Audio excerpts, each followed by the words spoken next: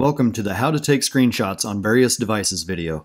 In this video, we will cover how to take screenshots on Windows, Mac, Chromebook, iOS, and Android devices.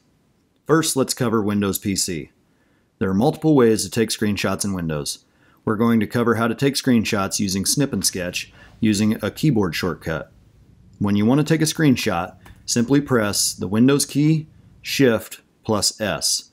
The screen will darken and display a menu on top of the screen to select whether you want a rectangular, freeform, window, or full screen snip.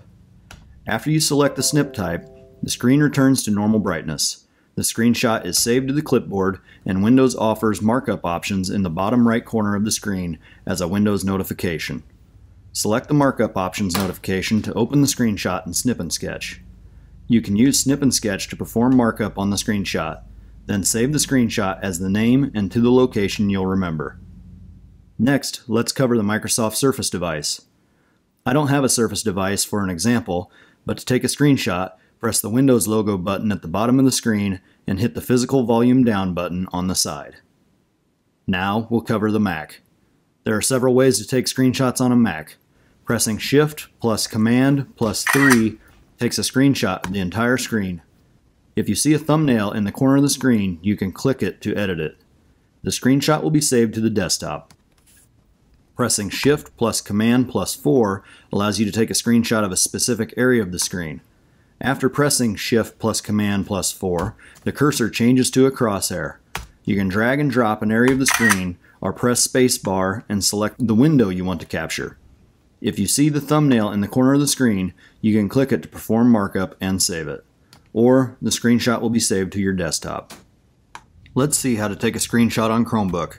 Pressing Ctrl plus Switch Window will save a full screen screenshot to the Downloads folder.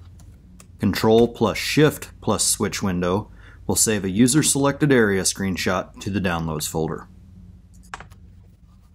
Next, let's cover Apple iOS or iPadOS devices.